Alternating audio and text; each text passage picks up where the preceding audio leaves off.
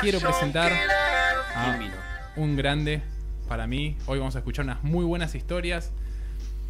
O sea, creería o me animaría a decir que el hip hop está en uno de sus momentos más mainstream o aceptados por la sociedad en la que ya todo el mundo sabe que es un rapero.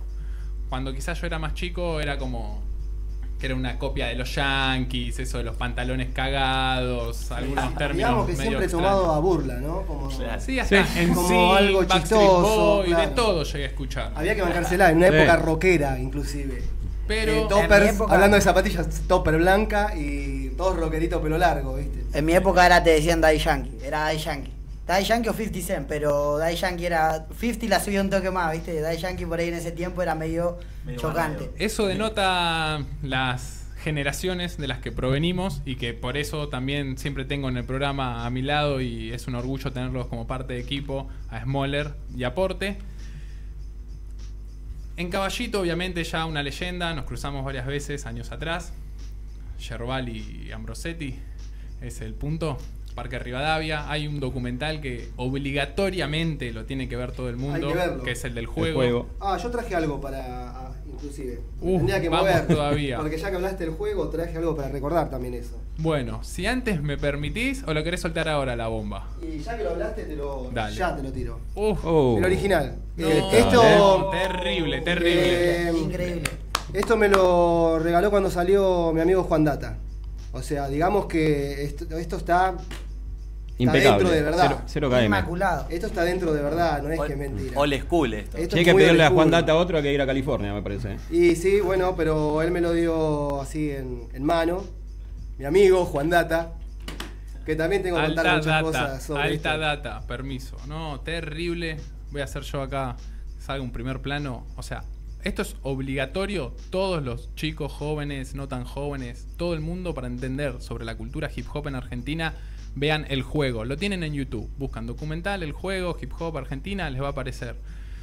No, la verdad. ¿Lo habías terrible. visto en ese formato? ¿No, lo no, viste? Bueno, no, no, inclusive este formato es, eh, es algo totalmente hecho a mano, o sea, A que todo es pulmón, total- a pulmón. A, a pulmón de verdad. Sí. Y, y eso es, es lo original que salió, no hay una copia. O sea, Graffiti copias. de Rasta. Sí, sí. Rasta, eh, inclusive creo eso creo fue hecho. Otro más que lo tengo que buscar en Estados Unidos. Pero bueno, le mandamos que- un saludo a Rasta. Ese estaba en Flores. Ese. Anda paseando por, con una casa rodante, me dijeron. Ah, vamos Ah, qué todavía. bien, era él. Qué- Privadísimo. ¿Quién Buena no quiere terminar así, viste? En una casita rodante. Pero Del vivero pasó a una casa rodante. ahora, para continuar, un fuerte aplauso para DJ Hollywood, Vamos, leyenda vamos, absoluta del hip hop vamos, argentino. Más Bueno. que nada te invité para aprender muchas cosas, Holly, hoy. Vos Pero igual tenés en historias. internet, pero hay cosas que están uno y mueren uno, ¿viste? Pero bueno, Además, en internet está todo. Pero en internet también hay como una programación de la computadora que automáticamente los algoritmos ya te muestran, te meten, ¿entendés? O sea, te termina un tema y ya te metieron el de Te fuiste conectando hasta Yankee, el de acá, el de allá, y siempre hay algo promocionado en sí. Y muchas veces la data más valiosa o original o pura o cruda o como la quieran llamar, no es sencilla de encontrar. Más allá de que hoy esté internet y antes quizás teníamos las historias, el de boca en boca y las leyendas, Contanos, Holly, un poco de la trayectoria que podemos remontarla a la década del 80. Incluso te diría. Me presento para el que no me 83. conoce. Por DJ favor. Hollywood, activista, militante cultural de la cultura hip hop. Vengo militando el año 1984, 2018, con un proyecto este año, si Dios quiere, nuevo, personal. Tengo talleres en Cuartel Quinto en Moreno y en el centro de Moreno, talleres de b-boy y de freestyle. O sea, desde el 84. Yo nací en el 86, ya pasé los 30 y a veces digo como. Chiquitito. Me estoy poniendo viejo, no sé.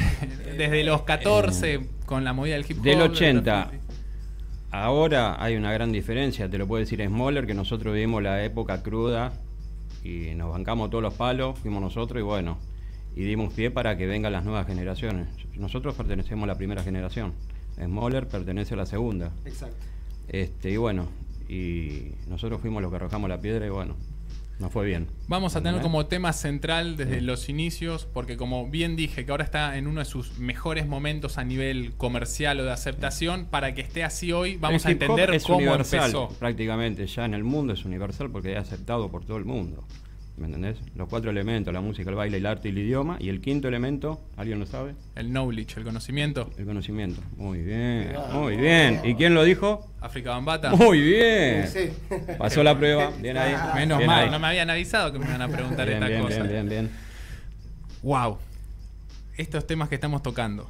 Lo veas mole y me acuerdo de, Tatín, de un montón de lados, me acuerdo. Me viene a la cabeza. Mirá, contate me viene a la cabeza. Yo tengo una historia que mm, cuando él me dijo que ibas a venir al programa, eh, lo primero que se me vino a la mente fue algo. Mm, algo como, como un sueño se me vino.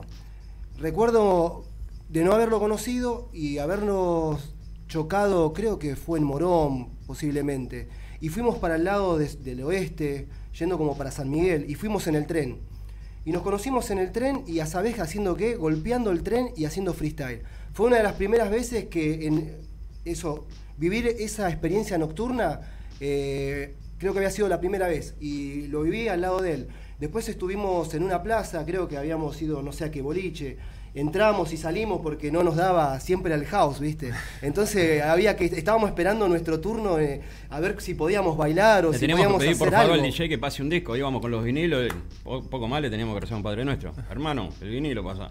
Teníamos que comernos los lentos, todo, pasábamos y era nuestro momento para explotar. Si no explotabas ahí, no explotábamos más en, el boliche. Sí, sí. Y éramos, habíamos salido del boliche ya tarde y nos encontramos en la plaza y nos pusimos a rapear éramos los únicos. Te puedo asegurar que éramos los únicos que estaban ahora en, una plaza. Si ahora mira que freestalean, para mí es algo normal. Porque nosotros en esa época éramos como el patito feo, te miraban y esto.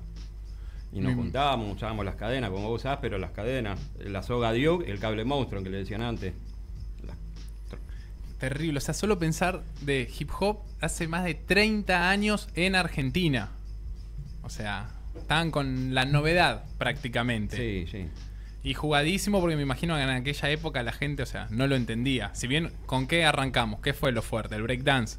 Y lo que mantuvo viva la esencia fue el, el b-boy a la cultura, porque había un poco rapper. Entre eso estaba mi gran amigo y padre de la cultura que es Mario, Tassimel, este, que ya yo lo conocí en el 84, él fue el primero porque yo en el 83 lo vi bailando en Florida de la Valle, hacía footwork, no, hacía top rock, footwork y Whitmill, hacía el molino y zapateo, era el único. Nosotros nos cagábamos a palo en el piso, bailando. Y ya rapeaba en inglés.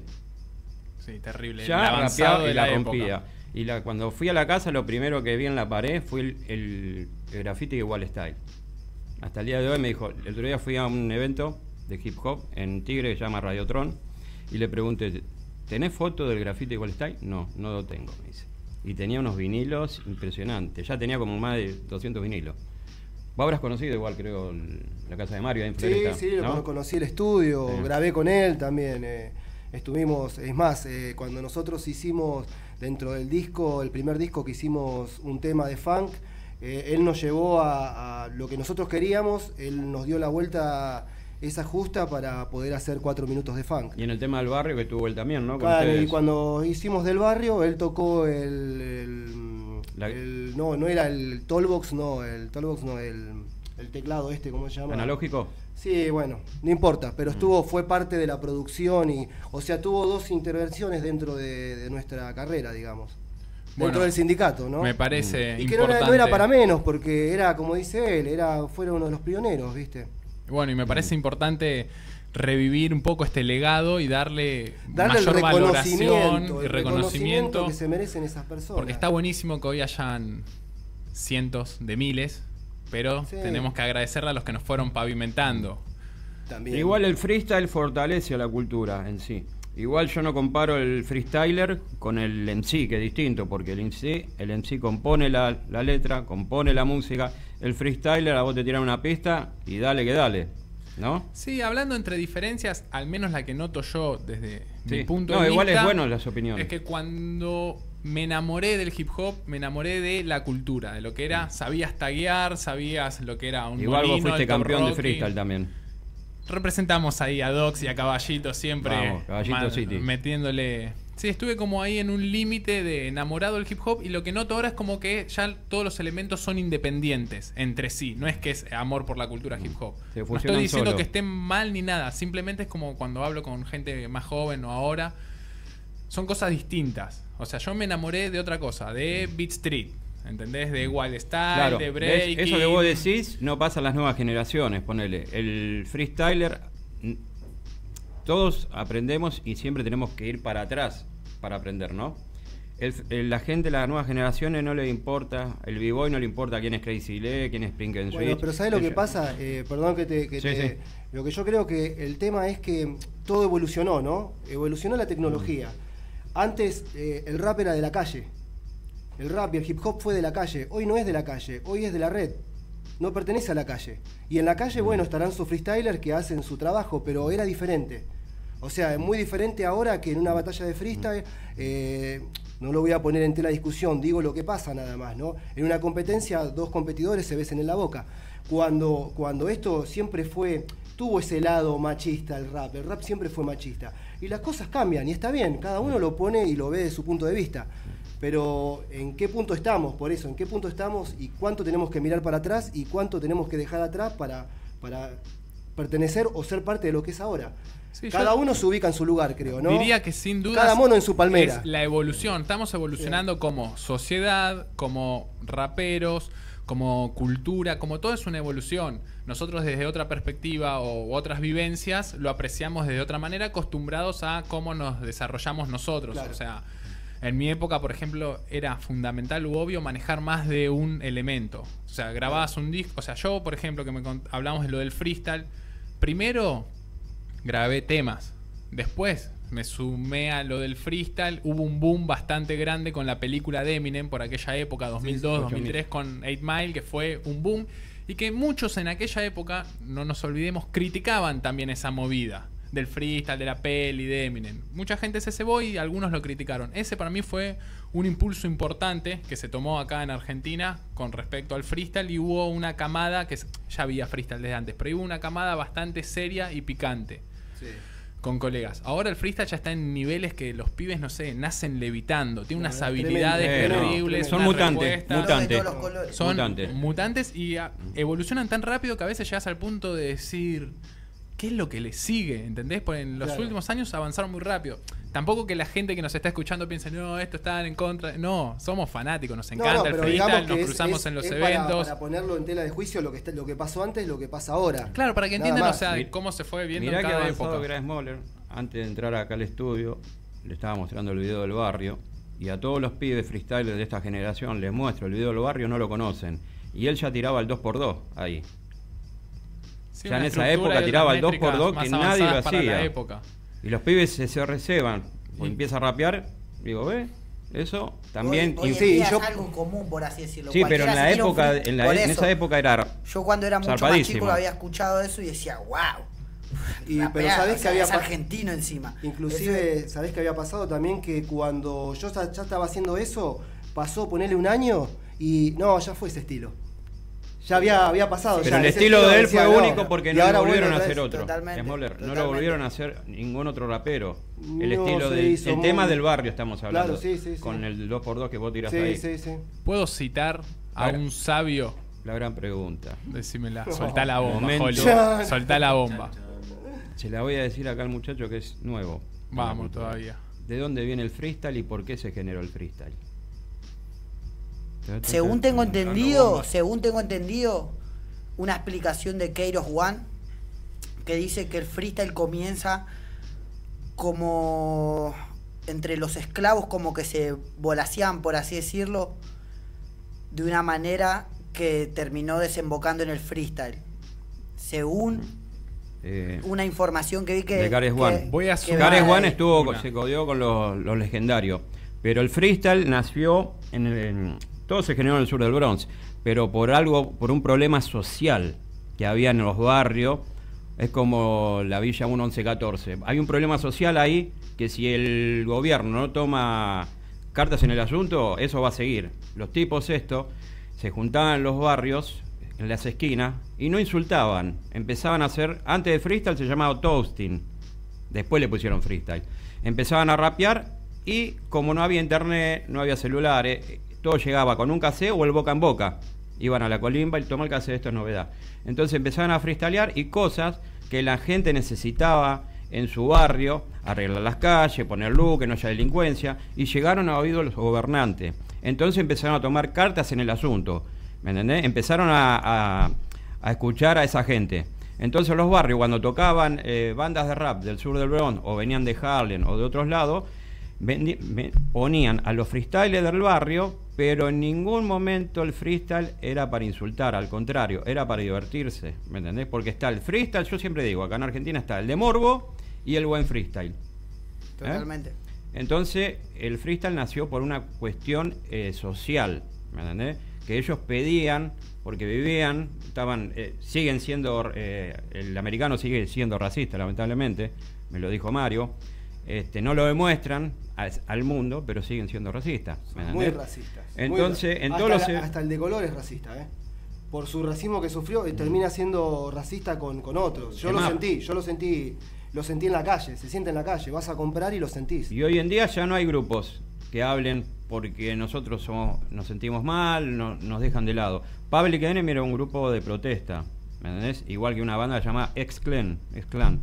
Eran de protesta entonces, como ahora eh, están en un país, esa misma gente que sufrió ahora está bien, entonces no necesitan hacer rap de protesta. ¿Me entendés? Se acabó de hacer. Pero siempre hay alguna rebeldía que algunas bandas que mantienen esa esencia, ¿me entendés? De los 90, de los 80. Pero el freestyle se, se generó así. Antes de freestyle se llamaba toasting. Toasting, acuérdense, que grabenlo. Data ¿Eh? heavy. Hollywood siempre compartiendo data picante. Bien igual lo tuyo porque eres One. Muy bien. jamsk8radio.com es donde nos están escuchando todos. Ya ¿Puedo mandar un saludito? Obvio. Mándalo.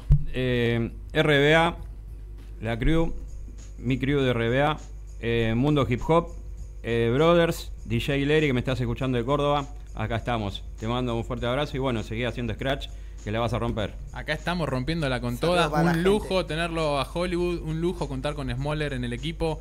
Acá estamos con todos los sentidos activadísimos, aprendiendo, disfrutando. Soltá esa bomba, quiero, eh, también hacerle una pregunta al señor que.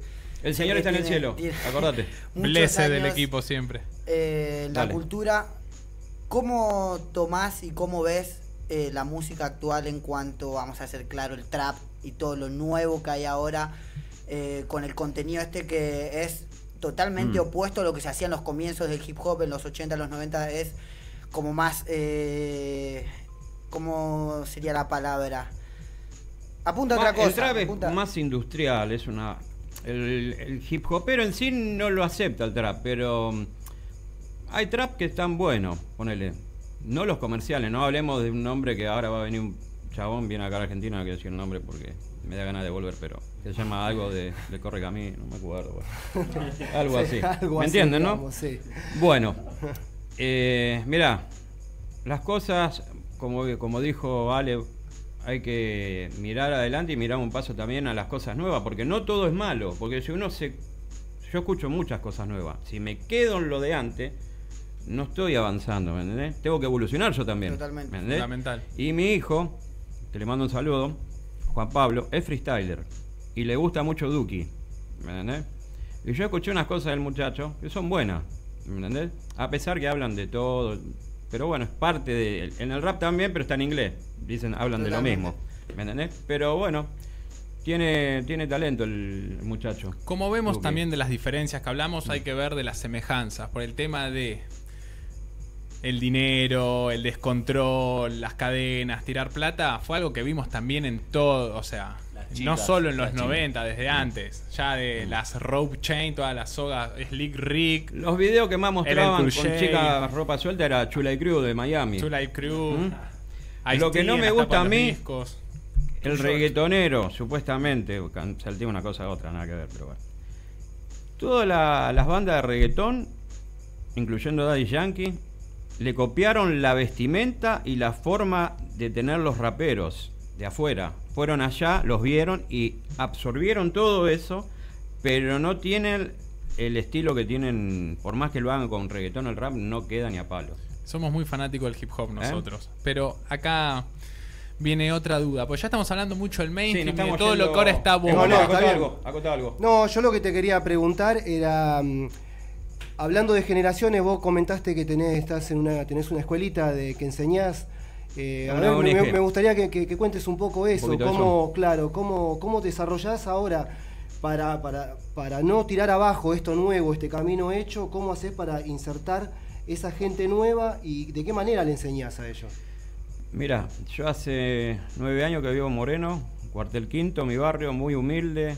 Eh, este, trabajo en una ONG que se llama Centro Cultural La Chicharra y es un comedor comunitario.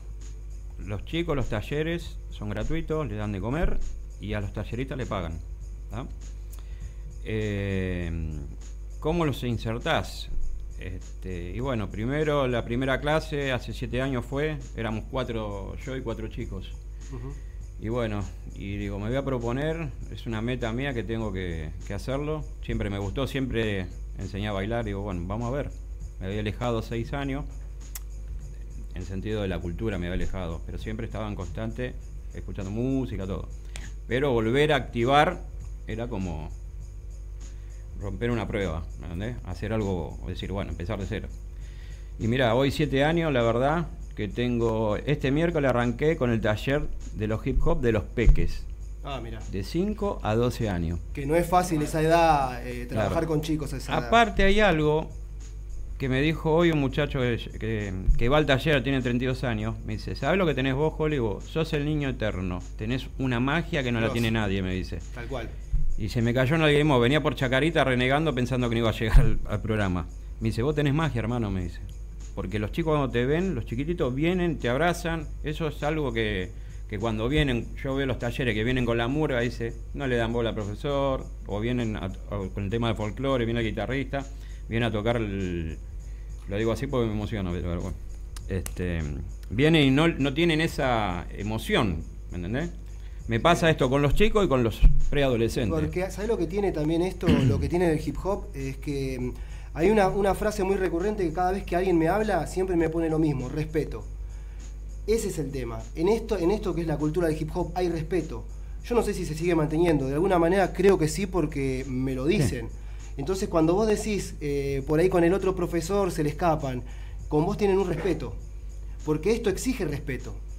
Aparte no es que digo, bueno, vamos a hacer esto, no, los dejo porque son chicos y hay que saberlos llevar, ¿me entendés? Hay que darle también su momento y el momento que cuando le decís, bueno, vamos a hacer esto, van todos juntos, ¿me entendés? Hoy tuve taller en el centro de Moreno, que se llama Lugo Chávez, y tengo nueve mujeres, Bigger, y un solo varón. digo, afortunado fuiste, le dije. grande era él. ¿Me entendés? Y copadísimas las pibas, copada, viste agradecido siempre a Dios porque me hubiera gustado esto a los 30. Yo tengo 49. Pero igual. Agradecido. Mira, mi hijo, el más chiquitito, que tiene 7 años, es B-Boy. Es impresionante cómo baila. El más grande tiene 15 y es eh, freestyler. Y mi hija de 9 años, que hace Chaido One. Tres hijos hermosos y bueno y estas cosas que te estén pasando, viste, es muy lindo, es muy lindo. Felicitaciones y comparto lo de la magia, porque siempre nos cruzamos después de años o de lo que sea, eh, Holly, ¿qué haces? ¿Alguna historia, foto? nada, siempre es una emoción. Nos cruzamos la Essential Jam. la última vez. La última vez. Y antes uno de los chicos en Caballito me ha dicho, che, el otro día me lo crucé a Hollywood, no sé dónde. Y anteriormente nos habíamos visto en la estación de Caballito y en el Village. Sí, sí, sí, pero bueno, cada vez que nos cruzamos siempre es una alegría. Lo que yo les quería consultar a los dos, sobre todo, algo extraño. Vuelvo a, lo del inicio, que ahora el hip hop está en su máximo momento de mainstream y todo. Pero por momentos pienso y reviso un poco la historia. El hip hop empezó siendo mainstream acá, en el sentido que Yacimel con sus discos, el sindicato ganando un Grammy, estando de gira en Estados Unidos. Un aplauso. Y después, vamos, un aplauso para esta noche mágica. Dos heavyweights del hip hop argentino. Es un honor para mí poder compartir este momento con ustedes. Todo el respeto, hermano. Eh, Viste, yo también por vos. Recién viví un momento único acá, un abrazo de dos legendarios. es muchos años que no nos vemos. 20 años serán. ¿Y sabés lo que pasa? Viste cuando vos recién nombraste que dijiste eh, la segunda generación. Yo siempre, siempre pongo, mm, pongo eso. Yo me pertenezco a la segunda generación, ¿viste? Y de la, de la primera generación que conozco casi todos, em, el tipo que siempre em, tuve la admiración y el respeto fue por él, pero no porque él esté acá, te lo digo, y porque los de, los de la vieja escuela siempre tuvieron una forma muy especial de ser. Quizás por, su, por sus comienzos, vaya a saber por qué. Y bueno, muchas de esas ideas nunca las compartí, ¿viste?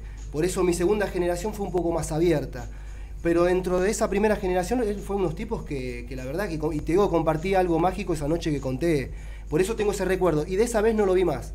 No, no, no nos vimos, no, no Por 20 años, hasta el día de hoy. Hasta el día de hoy. Bueno. Y nos seguiremos viendo. Ale nos juntó. Fashion Killers acá. Fashion Killer ese. Aplicando la magia. Bueno, Holly, infinitas gracias por venir. Y lo que le decía, empezó mainstream el hip hop, porque me acuerdo también en el documental, yo estuve, no sé si, no recuerdo si hubo fecha o no, pero en Buenos Aires no duerme, por ejemplo, que eran festivales multitudinarios. Sí, sí, sí, Después hubo una época cuando arrancaba, no sé, digamos, en la época del 2000, había hip hop y todo, pero no llegó a esos niveles, ¿entendés? De estaba la negra, que estaba, ¿te acordás de Caverna, la negra ahí en... Sí, yo ya te digo, mira, más 2002, 2003, no sé hasta cuándo habrán Sí, la época de Cemento, Doctor Jekyll. Claro, post Cemento, CBGB. después ya salió más un style y arrancó por ahí. Igual también los pibes ahora deben escuchar, no, lo de las generaciones anteriores eran más cerrados, ahora somos más abiertos. Viste, nos pasa a todas las generaciones. pasa con todas las generaciones. claro, claro, claro. Cada uno es. Si no evolucionamos tampoco nosotros. Eh, no damos pie a que haya cosas nuevas, porque no todo lo que hay es malo, hay muy buenos talentos acá afuera hay muy buenos talentos, pero lo que pasa es que necesitan ser explotados también, ¿me entiendes? Porque está el empresario comercial, dice, bueno, vení vos, canta, y está el que apuesta realmente a la cultura, ¿está? Hay dos tipos de empresarios, el que apuesta a la cultura y está el otro que busca el, la moneda. ¿me y que en verdad los empresarios están invirtiendo para obtener una ganancia, así que van a tener Pero está el que apuesta, el que apuesta. No, no, no quiero decir pero Almada, porque por, nación hip hop, pero bueno, fue un tipo que apostó, igual que, Le mandamos un saludo a Ale también, a Nico, por la esencia que la viene del 2002, y bueno, ahora se arma eh, la esencia en abril la de B-Boy Kids, así que bueno, vamos a ver que un saludo a Nico. Le mandamos un saludo a Nico también, la esencia del 2007, qué recuerdos, ¿no? ¿Quedan algunas preguntas, muchachos? En algún quilombo. ¿Algunas preguntas? Tengo, mira, acá justo lo había citado, que les contaba antes de un sabio, que dice, a ver si sacan quién es el sabio, que tira esta frase bien hip hopera. Si vos sos grosso, demostralo en el escenario. Si no, cerrá el culo. No, muy pesado. Es muy, heavy. Yo el otro día cuando estaba viendo de nuevo el juego escuché eso y dije, ¿cómo la representa este tipo? Así, cortita y al pie. y después de tirarse unas rimas re picantes, ahí en el juego sale Smoller bajándote. Muy atrevido. Ahí de una, no le cabía una, lo ves ahí, ya dale. Nos vemos en el escenario, ¿entendés? Esto se define el en el típico tema de la cerveza, cuando lo escucho a estos tontos que cantan el tema de la cerveza, yo lo escucho y lo de, no quiero decir el nombre de Cumbiancho, pero el verdadero tema de la cerveza es de él, no de ese grupo. No sé si vos me entendés. No quiero decir el, nombre. Sí, sí, sí, ya ¿Eh? sabemos, ya sabemos. ¿Se cobraron unas regalías, algo no, por eso? nada, nada. nada. Mirá, la música tiene algo que, que, es, es de alma, espíritu, de cuerpo, pero de comercial no tiene nada, no le puedes sacar nada. Como hablábamos, se la llevan los empresarios. Sí, sí, hay muchos pillos y después Somos utilizados, utilizados por los medios, porque de todo, o sea, los canales, inclusive los canales de internet y todo, eh, también se la llevan ellos, es muy difícil también cobrar por eso. Igual que las, regalías de YouTube, todo eso, hay un problema bárbaro. Sí, bueno, pero a mí me pasa también con los discos vendidos, se van perdiendo. Hay, hay canciones que también están en películas que se fueron perdiendo. Alguien se la está llevando. Alguien se la está llevando. En el próximo, programa. vamos una investigación a fondo vamos a ir. Holly, tenés el espacio abierto para que le cuentes a la gente dónde te encuentran, dónde ven más material. Nosotros vamos a ir compartiendo junto a esta, entrevista en las redes. las fotos, los videos que nos pasaste. Me encuentran en, en todos lados, siempre solitario. Algunas veces voy con mucha gente. La última vez fui a un evento en Villa La Puñalada, todos se reían, me dicen Villa La Puñalada. y Villa Palito, que la tendrás que conocer. Sí, y y le mando un saludo también al Chori y me dice, no, Hollywood, ahí no voy. Me dice, no, si paso por la moto por ahí a las chapas porque no quiero ni pararme. Me dice, ¿sabes? La, bajé del colectivo, entré, cuando hace 20 años fui, era una villita, chocita de madera. Ahora tiene vereda, Hasta tiene asfalto, la, tiene asfalto. todo. Me atendieron así. Es la gente más under que realmente le gusta la cultura. Le gusta la cultura.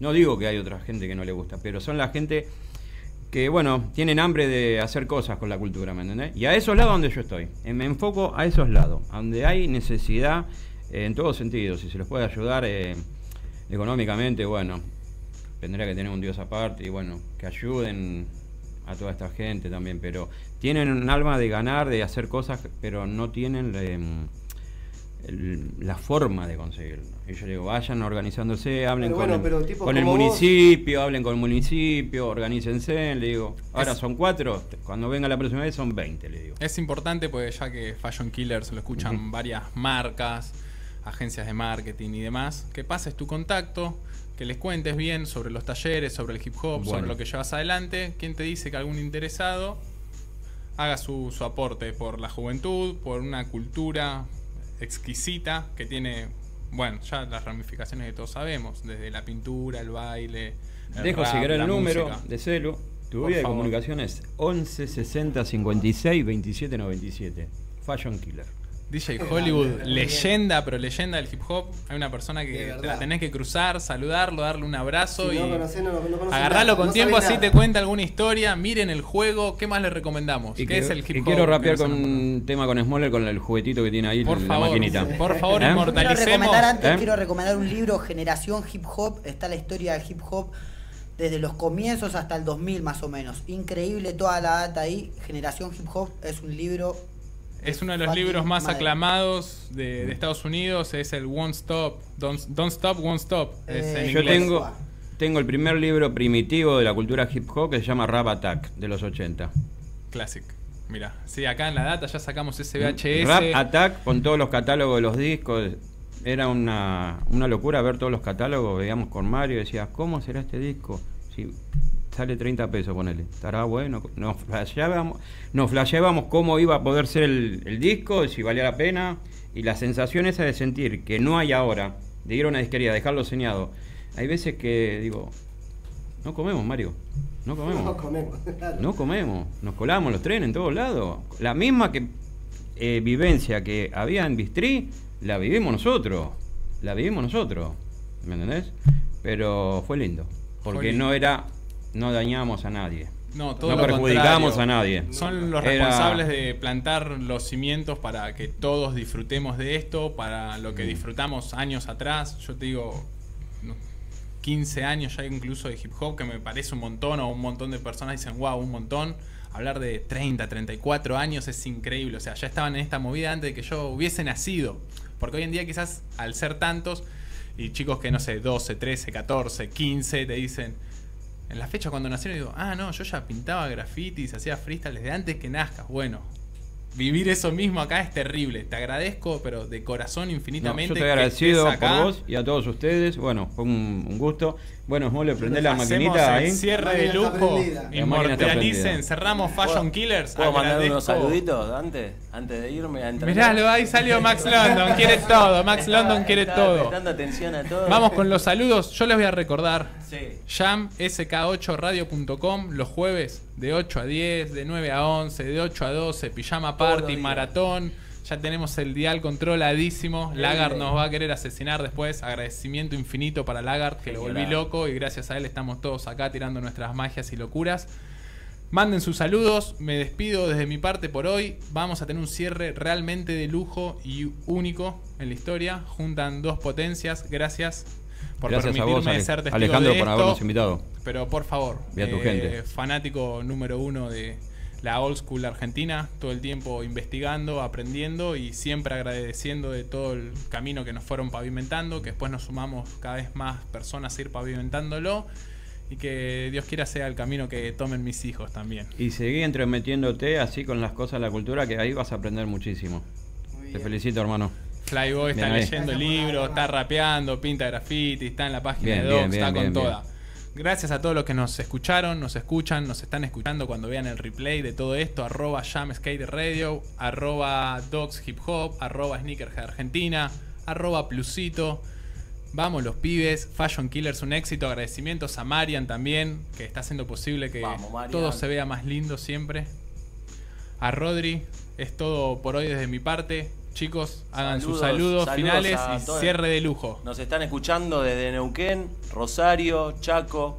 La verdad que gracias por hacernos el aguante. Mandaron saludos desde Chaja y desde Río Gallego. Feliz cumple. Ah, ya pues estamos más o menos en la fecha de cumple de Lesca y ayer cumple de ya, ya nos vamos, ¿no? Para Chaja. Bueno, saludos a todos, a mi familia, a mi novia, y a los pibes del equipo que siempre estamos ahí eh, representando. Si nos quieren buscar, también estamos ahí en la canchita de Docs caballito. Basket represent Fly, el saludo y la presentación para este momento histórico. Saludo Saludos. especial para la gente de Río Cuarto ahí que seguro está ahí prendida. Para toda la Jugo Gang, para Bulls Crew, para mis amigos de Castillo, mi familia. Y bueno, nada, los pibes que están siempre. Un saludo grande, hermano. Saludo a Mundo Hip Hop, a Seu, el Redotron, a Matu, a todos, a Tito. Saludo a RBA eh, de Río El Vivoy, Argentina. Y eh, saludos a Brothers y a Bigger eh, Machine, que hoy le pusimos el, el nombre al grupo de WhatsApp por la chica. Muy bien. Vamos, Bigger Machine, todavía. ¿Salen esos sonidos mágicos? Yo, la verdad que me tenés que dar un poco de audio. Vamos. Vamos, subí un poco. Vamos con una medio school, ¿no? Vamos. Como tiene que ser, a lo de antes. Subimos un poquito más. Estamos con los pibes, estamos con los pibes. Uh, Vamos. Estamos con los pibes en directo Fashion Killers, fa- Fashion Killers, Smoller, Hollywood, representando desde el hood. Uf. Ale Plus y Porte, lo hacemos por deporte, que salga sin corte en el beat, clavando esos hits. Uf. De nuevo al free. Dog Life, Dog Life, Dog Life, suena así. Bueno, ahí va. Yo. Acá el brother, el brother tiene que tirarse uno. Vamos. Fly. Ah. Dale que suena, dale que suena, la pista está plena. Hey, check it out, de acá no vamos a Maquena. No es domingo, estoy perdido. Sabe, con los pibes lo hacemos, lo mantenemos jodido, muy podrido. Con la vieja escuela, más jodido que un fucking dolor de muela. Hey, gastando la suela desde tiempo inmemorable. Vos sabés cómo lo hacemos cuando no había tele por cable. Hollywood andaba, seguro que Smoller la rapeaba. Oh, check it out, antes que yo nazca. Y trasca, que estamos acá. Un saludo para la gente que lo está escuchando. Vos sabés, Fashion Killer está sonando. Hey, hey. Ok, Pretty Flyboy, joven Sex Pixel. Es grande, Dog eh. Life. Bien ahí, bien ahí. Yo lo quiero escuchar a Hollywood. Por favor. Cuando escuchen nuestra voz, no debe somos los raperos que quieren enseñar el estilo, la fuerza, el ritmo del rap será algo del cual no podrás escapar. Corazón en tus pies, tus pies, esta canción harán que poco tiempo me des la razón. Verá los colores dibujados las paredes, en graffiti y murales, arte sobre los trenes hip hop. Esta es nuestra cultura. Han pasado 44 años y todavía dura. Pues este es el ritmo del corazón que ahora se desplaza por toda la nación. Es una canción simple y efectiva. En tu estéreo o en tu radio se mantiene viva hip hop. Esta es nuestra cultura con cuatro dimensiones y raíces pura. ¡Hua! Vamos, Moller. ¡Ey! Uh, ¿Por qué me haces Uh, rápido? uh, Déjame, con la pista. Déjame con la pista. Ahí va. Ahí va. Yo. Tengo el infierno en mis manos y las llamas son el odio ciego de la gente que no calla. Es más que un delirio, hasta vos lo pensarías. Pero la batalla hasta un ciego la daría. Siento la avaricia y la codicia como crece. Hasta el más tonto a esto él lo fortalece. Tomo lo que tomo y hasta ahora ya va con calma. Prefiero perdonar, pero odiar es mi karma. Decido ser el mismo que el que siempre ha peleado. Pero siempre hay algo que me tira hacia el costado. Tomo la venganza como un pasatiempo nuevo. Pero no hay nadie que la tome como un juego. Caí con eso que no rezo y en mi pieza me confieso. Tan solo busco un respiro para mí, conciencia para mi destino. Pienso mis pecados, algunos buenos y otros malos. Aquí estoy esposado. Soy el acusado esperando el momento de mi juicio final. Día a día, hora a hora, minuto a minuto. Pelear en esta vida para mí es un insulto. Ser un triunfador depende de lo más injusto. DJ Hollywood. Bien ahí, bien ahí. bien ahí. Rompiéndola. Smoller. Hollywood, momento legendario.